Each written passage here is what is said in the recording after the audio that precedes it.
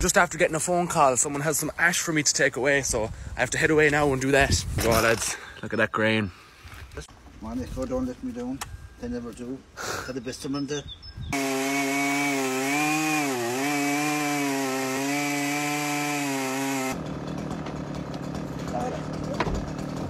No sharp braking, and I should be alright. We have it back home here now. I have the froe in place.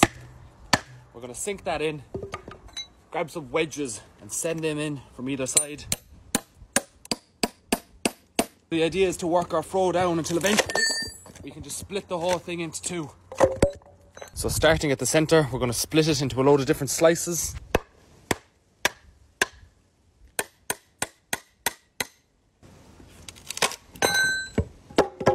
And there we have this stack will be dried out for two years and eventually I'll turn them all into axe handles.